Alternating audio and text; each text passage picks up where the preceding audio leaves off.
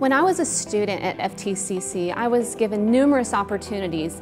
One of those include mentorship and hands-on technical training. I was supplied with a route that allowed me to fast track my career in cybersecurity. I was given the opportunity for discounted vouchers from CompTIA. I was given the opportunity to practice these um, exams with my instructors. And my instruction that I was given was not just told to me, I was taught on a personalized level that allowed me to succeed. For those looking to transition or possibly pursue a career in cybersecurity, I'd strongly encourage uh, those individuals to not pursue this field for the money.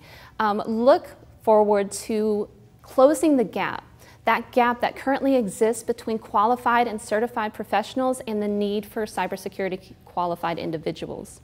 Don't be afraid to redefine your skill set. That's our job, to encourage your growth and to ensure you succeed regardless of where you began your career.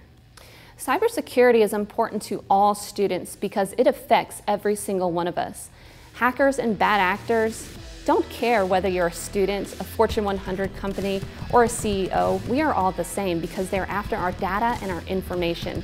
And in a digital world that we live in, every aspect of our lives, from our education to our social life, exists over the World Wide Web, and it is worth knowing how to protect everything that we hold dear. For those individuals looking to begin training at FTCC, head to faytechcc.edu and check out some of the academic programs. There's over 280 different associate, certificate, and diploma programs that you can pursue.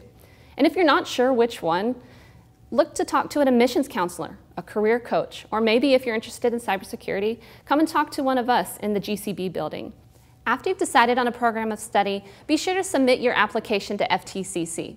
After that, be sure you submit all transcripts, both high school and any applicable college transcripts you may have.